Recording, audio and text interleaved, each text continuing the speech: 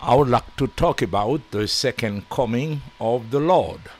We understand that uh, this doctrine of uh, the coming o- of the Lord, of the advent of Jesus, is a very important one in the Bible. The church should understand that today we need to share a little bit more with people attending church about the coming of the Lord, the second coming of the Lord. We also understand that there are different views about uh, this uh, very important uh, event. It will take place in the future, of course, but many people or different churches have uh, various views about the second coming of the Lord. The one that was prevalent in the past was what we call the post tribulational coming. The second coming of the Lord will take place only after the great tribulation. Back then, almost every church member believed that Jesus would come after the great tribulation. Later on, in the 19th century, there came up a group called the Plymouth Brethren. Among the leaders of this group, we found Benjamin Wills Newton, John Nelson Darby, and they were trying to understand the manner of which the coming of the Lord will take place. Before G. and Darby, there was Edward Irving who studied in depth the events related to the second coming of the Lord. They came to, uh, at the very beginning, Darby himself believed that the church would see the great tribulation. But in the process of studying the Bible or trying to understand the second coming of the Lord, Darby came up with a new teaching about the coming of the Lord. He was influenced by the writings of Edward Irving. What was on Darby's newly found doctrine?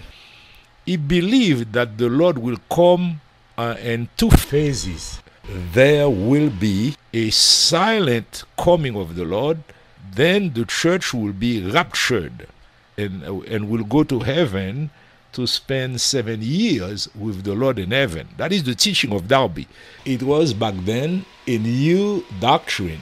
Even Darby switched from the view that the great tribulation will take place before the coming of the Lord. Now he, he, he came to believe that there will be a silent coming of the Lord and the church will be raptured after seven years in heaven Jesus will come back with his church on earth to rule over the world for 1,000 years.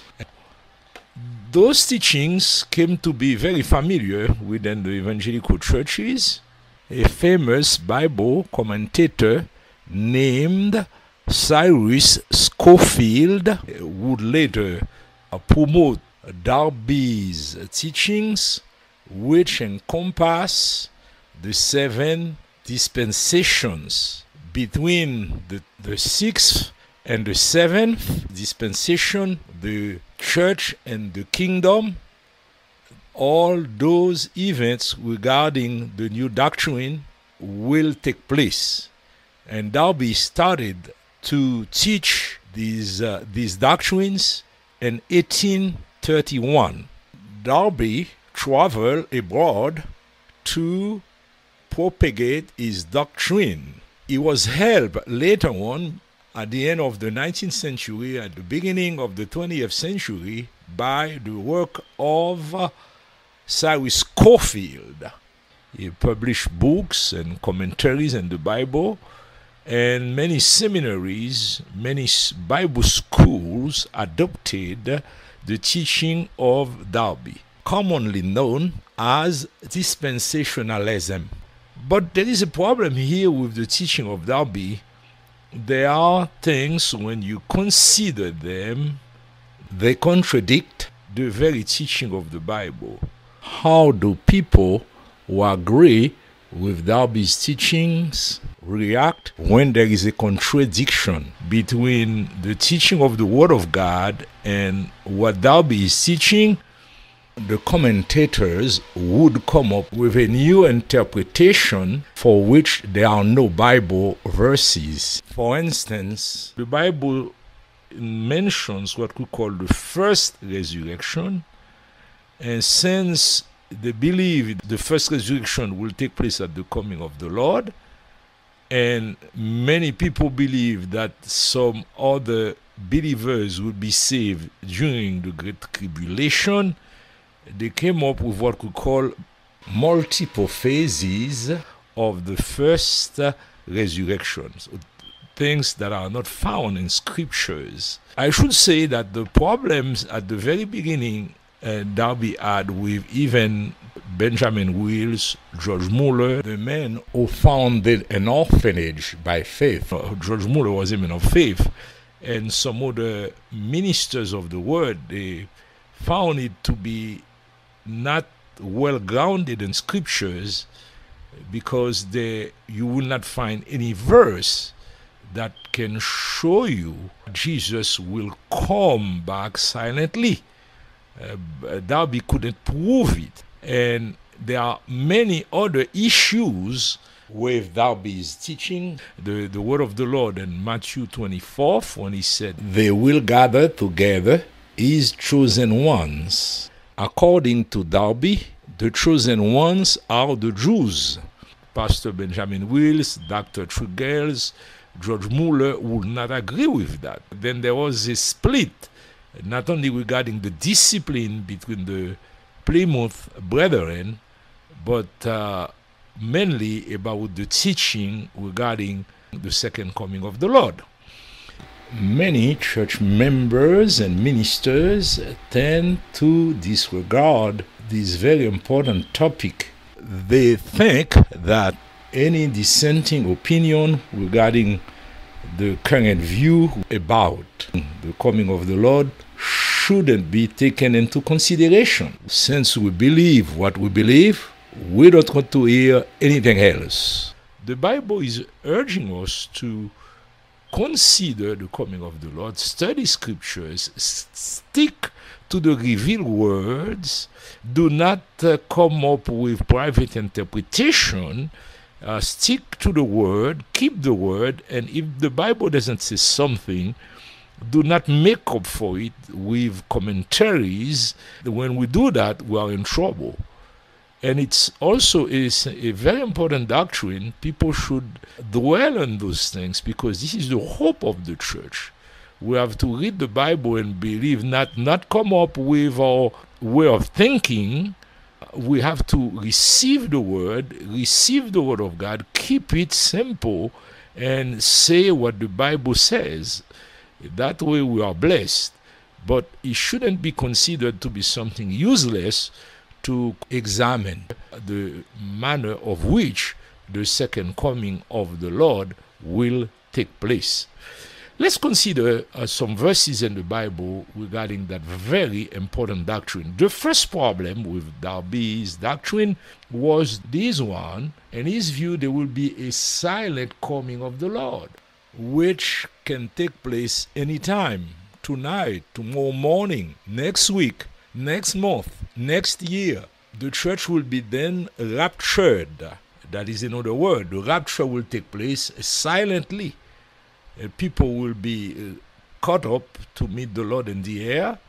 And in his view, from there, they will go to heaven. Although the text would rather suggest that Jesus is coming, the church will be gathered around Jesus coming on earth. Uh, because uh, even the Greek expression implies somebody coming, and the word used in the Greek uh, text is parousia. And at the parousia, that means when Jesus is coming here on earth, he will stop midway somehow and the heavenly places and the church will uh, will meet him over there in order to come back with him that is the idea uh, and then but for darby the rapture will bring us back to jesus will take us back to heaven he will go back himself to heaven coming down and go back to heaven with the church to spend seven years in, uh, in heaven with the Father. At the end of the seven year period, it will come back. Uh, all of these are not well grounded in scriptures. We don't have any verse in the Bible that will say clearly that the church is going to spend seven years in heaven with the Lord. They imply that the church will uh, spend seven years with the Lord because they said the church will be spared uh, during the Great Tribulation. As a result, they imagine that the church is going to go to heaven and spend seven years in, uh, with the Lord. There are no verses for uh, such teachings. But let's understand it better by reading the Bible. The first problem is the silent coming of, of the Lord. We don't have any verse for that. He will come as a thief in the night. That, that expression means that the world will be taken by surprise. The coming of the Lord will come as a surprise, but is not going to be a silent one. Rather, we got verses like in Revelation 1, verse 7, we can read very well Behold, he cometh with clouds, and every eye shall see him, and they also which pierced him, and all kindreds of the earth shall wail because of him. Even so, amen. Every eye shall see him. There are no other texts implying that Jesus will not be seen at his coming. People may say, oh, it's going to be the second coming, but this is what we got in the Bible. Only if we would have seen a verse saying that Jesus will not be seen, that would have been a good way for everybody to be convinced that there will be a silent coming of the Lord. Wherever you go in the Bible, the same expression is there the coming of the Lord will be seen by all. Even more in Matthew 24. If therefore they tell you, Behold, he is in the wilderness, don't go out. Behold, he is in the inner wombs, don't believe it. For as the lightning flashes from the east and is seen even to the west, so will the coming of the Son of Man. For wherever the carcass is, there is where the vultures gather together. That is the way. The, Lord, the church is going to gather around the, the Lord. But the verse, the next verse, verse 29, is very enlightening. But immediately after the tribulation of those days, look at the word tribulation of those days. The sun will be darkened, the moon will not give its, its light, the stars will fall from the sky, and the powers of the heavens will be shaken. And then the sign of the Son of Man will appear in the sky. Then all the tribes of the earth will mourn, and they will see the Son of Man coming on the clouds of the sky with power and great glory. They will see the Son of Man. Verse 31 He will send out his angels with a great sound of a trumpet, and they will gather together his chosen ones from the four winds, from one end of the sky to the other. Darby claimed that the chosen ones are the Jews, the children of Israel. But remember, there is a principle in hermeneutics.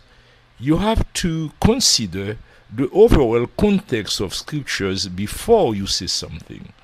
Chosen ones can can be Jews, can be Christians, but when you have to say specifically you are dealing with Jews, you need to back up your text with another text.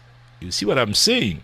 You cannot say we are dealing. Uh, the chosen ones are Jews. It's uh, it's a private interpretation. You cannot say it like that because we know that there are two groups of uh, people on earth that claim to be the chosen ones: the Jews and the Christians. Now, uh, the trust would be for the Christians because Jesus is talking to his disciples, to the church here. It's a it's a message for the church, not for Israel.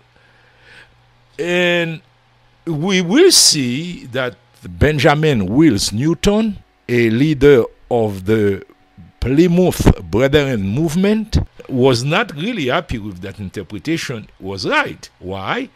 because the Bible explains elsewhere what will happen to the Jews at the coming of the Lord. The Bible doesn't say they will gather together uh, the Jews uh, from the four winds, from one hand of the sky to, to the other. Therefore, that interpretation doesn't stand here.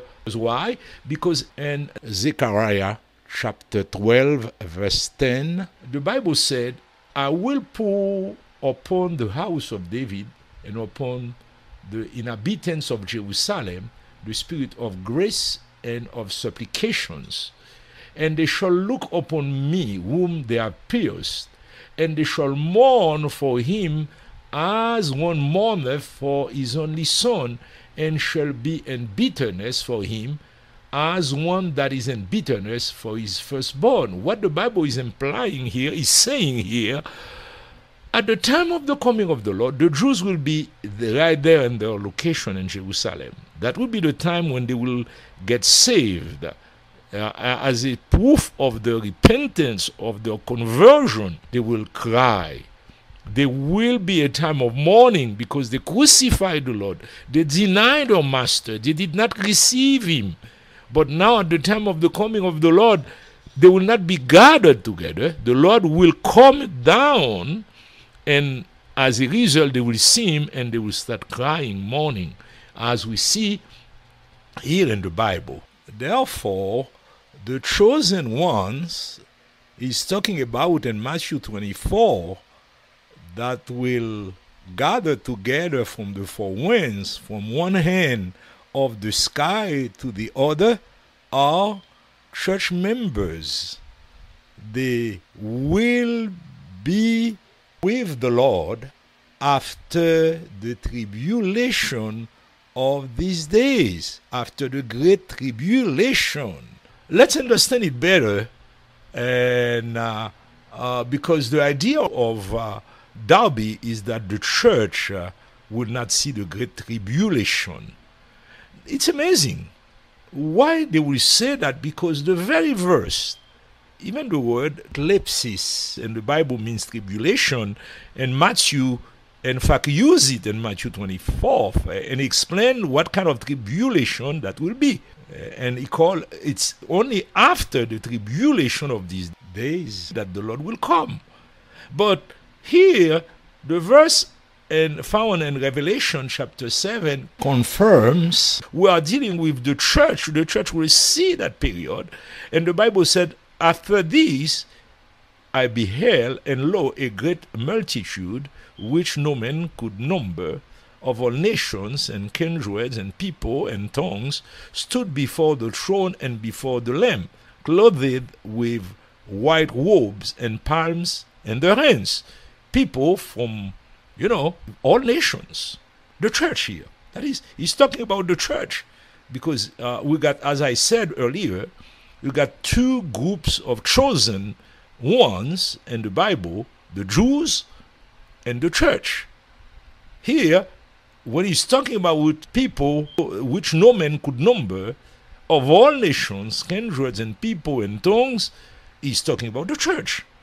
And the Bible said, These are the which come out of great tribulation and have washed the robes and made them white in the blood of the Lamb. They saw it. They came out of it. They suffered it. That is what the Bible is saying. A group coming from people coming from different nations, church, the church of the Lord. We see that period. And yet they use the text to say, no, the church is not going to see it because uh, the Great Tribulation, uh, the people will say, oh, the Bible is talking about the, people will be there at the time of the Great Tribulation. You cannot uh, escape scriptures. You cannot uh, come up with your private interpretation of the Bible. He's saying people and tongues and people of all nations. It's the church. The church is going to see it. But if you have any doubt, uh, the problem here with uh, the doctrine of Darby, it's the left behind theory. And, and the left behind theory of Darby, uh, we got two groups, two main groups. There are many subgroups, but here we can say about the two big groups. According to some, those who are not ready from the church will see the great tribulation. That is the teaching uh, of uh, Darby.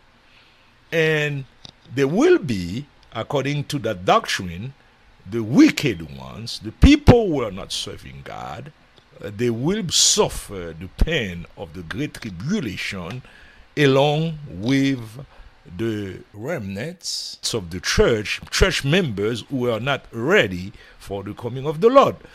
But uh, that is the same problem again when you are dealing with this text. The overall context of scriptures of the Bible shows that it's not true. Uh, when Jesus comes, it will be a final coming. He will reward the faithful and judge the unfaithful. It's not going to be like Jesus comes and people will be left to suffer the great tribulation. It's, it cannot be clearer than that because that's what it's very important to avoid man made comments and use them instead of uh, the inspired word of God we have to look at scriptures and understand what the Bible is saying and remove man made doctrines, remove the, the, doctrines of Darby's, as Muller said. My brother, I'm a constant reader of my Bible, and I soon found that what I was taught to believe by Darby's doctrine did not always agree with what my Bible said. I came to see that I must either part company with John Darby or my precious Bible. And I chose to cling to my Bible and part from Mr. Darby. Uh, then that is what he said. He wanted to follow scriptures. The well known left behind doctrine is not grounded in scriptures. What the Bible is saying, at the coming of the Lord, the judgment will start. That means God will set uh, the record straight. There will be no more great tribulation after the coming of the Lord. Let's see what the Bible is saying in Second Thessalonians chapter 1, which is a manifest token of the righteous judgment of God that ye may be counted worthy of the kingdom of God for which you also suffer. Seeing it is a righteous thing with God to recompense tribulation to them that trouble you, and to you who are troubled, rest with us. When, look at the word when, the Lord Jesus shall be revealed from heaven with his mighty angels and flaming fire, taking vengeance on them that know not God and that obey not the gospel of our Lord Jesus Christ, who shall be punished with everlasting destruction. Not the word, everlasting destruction from the presence of the Lord and from the glory of his power. When he shall come to be glorified in his saints and to be admired and all them that believe because our testimony among you was believed in that day. Look at the word here. Look at the statement here, how clear that can be. The Lord will come to, uh, verse 9, who shall be punished with everlasting destructions from the presence of the Lord. And from the glory of his power. There is no time for the wicked to stay for the great tribulation to persecute the church anymore because the Bible said everlasting destruction will take place for the wicked at the coming of the Lord. Look at what the Bible said in verse 10 when he shall come to be glorified in his sense. That is the thing. He's coming to be glorified in his sense, but the very day that he will be glorified and his sense, he will judge the wicked. Malachi chapter 4 say, says the same thing. The Lord will come to punish those who don't believe and reward those who believe. He will do the same thing the very same day. He's not going to rapture them according to the Bible, so they spend seven years in heaven, and people who are left behind, the uh, church members were, are not ready, and the wicked will be left behind. No. The very day he's going to reward the faithful, the Bible said he will destroy uh, the uh, unfaithful. That is very clear. This text destroys what we call the left behind theory. Nothing will be left after the coming of the Lord. The second coming of the Lord will change the world as we know it. And you see it also when you look at uh, Matthew chapter 24, look at what will happen. And, and one will understand is, is going to be final. But shortly after the tribulation of those days, the sun will be darkened. The moon will not give its light. The stars will fall from the sky. And the powers of the heavens will be shaken. You see that? The stars will fall fall from the sky. Some people don't understand it. They say, oh, the stars are big. Who is the master of everything? The Lord is in charge. By the power of the glory of God, He will be uh, the burn they will be they will burn down at the time they reach or whatever the place they reach falling from that place they will burn it's it's a big commotion as we read in second peter chapter 3 verse 10 the elements shall melt with fervent heat the universe as we know it will be shaken it's a it's a it's a powerful thing it's not uh, they may be as big a star may be as maybe uh, we know that the sun is a star itself. Maybe there are certainly there are stars that may be bigger than the sun. They will disintegrate, but the Bible said they will fall from the sky. That falling doesn't mean they are going to come to end up on earth, but it's explaining the commotion that will take place by the power of the coming of the Lord. But one thing we should notice it's not possible when we see the stars falling, and the powers of heaven shaken, and the sun will be darkened, the moon will not give its light, and to, for things to come back and, and a great tribulation after that to take place. And the Bible is confirming uh, the, this fact by showing us the very day Jesus uh, uh, comes to reward the saved, he will deal with the wicked. We know that the world will be different after the coming of the Lord. The light of the sun will be seven times brighter, and the light of the moon will be like the light of the sun as we know it now. And the Bible said at the end of the 1,000 years, the devil was imprisoned will be released and a war will ensue, Gog and Magog. And after the war, there will be the final judgment. The second resurrection will then take place. That will be the resurrection of the wicked. Let's go into another text, on a clear one. And no one should uh, think that they can argue with uh, the Bible with scriptures because it's clear. But the problem is when we got uh, years of comments built up into our mind, you don't see scriptures anymore. We see our minds, and it's one needs to fight against uh, whatever a misconception we may have uh, you know, kept in our mind for many years to come to scriptures and repeat exactly what the Bible is saying. Second Thessalonians chapter 2 is one of those texts, and when you read it, when you see it, you and when you hear somebody believing the doctrine that they will not be, uh, the church will not see the great tribulation, we will not see the Antichrist because the Great Tribulation is the time when the Antichrist will appear.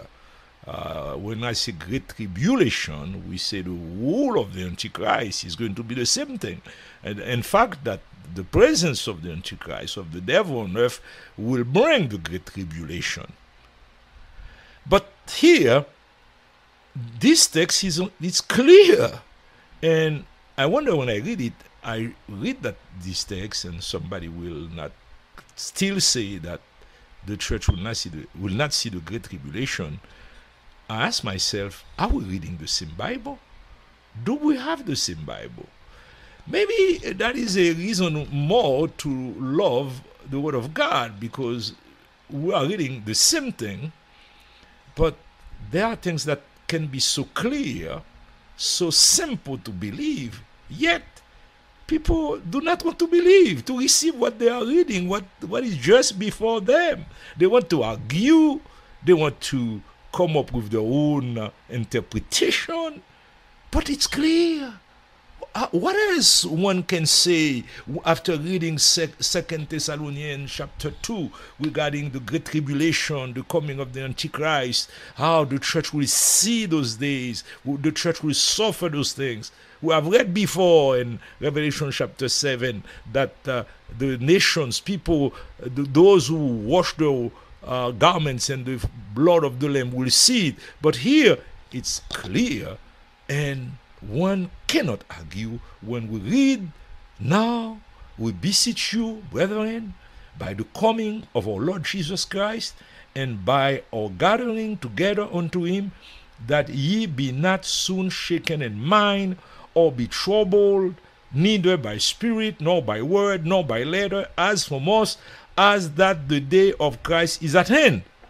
Let no man deceive you by any means for that day shall not come except there come a falling away first, and that man of sin be revealed, the son of perdition, who poseth and exalteth himself above all that is called God or that is worshipped, so that he as God sitteth in the temple of God, showing himself that is God.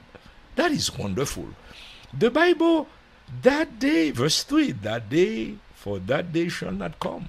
Do not allow somebody to tell you that the Lord, the coming of the Lord, can take place now. That day shall not come. The coming of the Lord will not come. And Paul is writing to the Thessalonians to explain to them, uh, oh, you shouldn't be soon shaken in, in your mind or troubled, neither by spirit, nor by word, nor by letters, as from us, to say that the day of Jesus the, the coming of the Lord is imminent. It can take place tonight, it can take place tomorrow, it can take place next year. No, he is saying there are things you should see first. He's giving them things they should look at, they should consider, and before believing that the Lord is coming. It's not going to take place like that. It's not going to be a surprise for you because and is is giving them a second warning. Let no man deceive you by any means for that day shall not come except there come a falling away first. That means before the coming of the lord we should see the falling away. We may see we are on our way to the falling away. There are still faithful church members faithful churches but you see we see what is happening now in the world. People are uh, changing the gospel. They are changing it. The falling away is, uh, is coming, but they are still faithful servants of the Lord. And that man of sin be revealed. That man of sin be revealed is another teaching of the word. That means uh, the Antichrist should come first. The son of perdition. And those two things, the falling away and the revelation of the men of sin, of the Antichrist, called uh, elsewhere the beast, the wicked, and there are so many names for the Antichrist in the Bible, but we understand that that is the first thing we should look at uh, before we will know that Jesus is coming. The falling away and the revelation of the men of sin. That is clearly expressed here. Is going to go uh, and sit in the temple of God and he will claim that he is God. I think those verses are pretty clear, and uh, one should understand that uh, we cannot play with those things. We have to keep scriptures, repeat what the Bible is saying. If we do it like, like that, there will be no problem, no troubles, nothing that will be a source of problems for the children of God. As the Bible said, those things will take place, and the church will be there and if we have a little doubt, Revelation 20, verse, uh, starting at verse 4, explains very well. And I saw thrones, and they sat upon them, and judgment was given unto them. And I saw the souls of them that were beheaded for the witness of Jesus and for the word of God, and which had not worshipped the beast, neither his image, neither had received his mark upon their foreheads or in their hands they live and reign with Christ a thousand years. But the rest of the dead live not again until the thousand years were finished. This is the first resurrection. The first resurrection is the resurrection of the righteous that will take place in First Thessalonians chapter uh, 4. As I told you, Jesus is coming in the the church will meet him, and he will come down with his church on earth. And the Bible is claiming that because the first resurrection will take place then, uh, after, uh, uh, then when Jesus comes. We see in the book of Revelation also that the Bible said the kingdom at this, the seventh trumpet will sound, and the kingdom of the world will be the kingdom of the Lord. He's going to take power over the world. He will rule over the world for 1,000 years. That is what we call the millennium. But that same seven trumpets is the last trumpet in 1 Corinthians 15, verse 52. In a moment, in the twinkling of an eye, at the last trump, for the trumpet shall sound, and the dead shall be raised incorruptible, and we shall be changed. Then we have all those things in the Bible. When we compare them, when we study them, we can conclude that the teaching of Darby is not accurate. I don't mean if somebody believes in that teaching, he will not be saved, but one needs to stick to scriptures. As Muller, Pastor Benjamin Wills, Dr. Tregelles, and so many people did in the past, they stood up to Darby and said, What you are teaching is not biblical. We cannot receive that. Unfortunately, the churches and the seminaries kept only the teaching of Darby instead of teaching the church the very word of God regarding uh, the ministers, the pastors who are going to preach the gospel, to explain to them there was a conflict. It was not the belief of Darby. Darby at the very beginning believed that the church will, will see the great uh, tribulation. He changed it and he came up with two comings of the Lord. They should have explained those things to people who are going to serve so they may have a view, an open view of the teachings because Dr. Wills, Darby, Dr. Tregelles with books about the second coming of the Lord.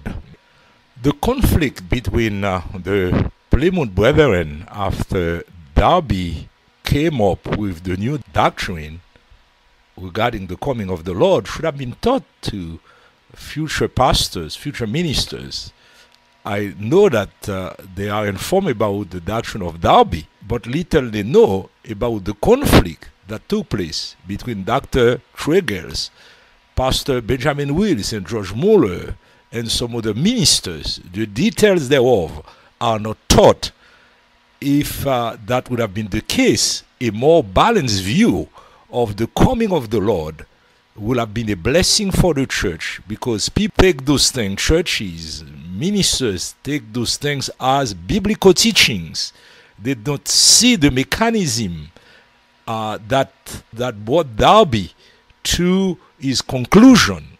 That should have been studied, and the historical record regarding the well-founded objections of men of God like George Mueller, Pastor Benjamin Wills, Dr. Tregelles, and the big conflict that took place then should have been part of the curriculum of every uh, seminary or Bible school. So, an understanding of the doctrine of the coming of the Lord would have been a blessing for the church at large. But the way it is present, presented, it is like this is the Bible teaching. And they are saying things. You don't see any verses for silent coming of the Lord, any verses for seven years in heaven, any verses uh, for uh, the left behind theory, nothing like that, just comments after comments, comments after comments. And when there is a problem, like some people will say, there is a second phase of the first resurrection, there is a third phase of the first resurrections. I've, I have read comments saying, oh, the first resurrection started at the very beginning because they try to address these things to their view instead of accepting the clear teaching of the Word of God, which says clearly that the first resurrection will take place at the parousia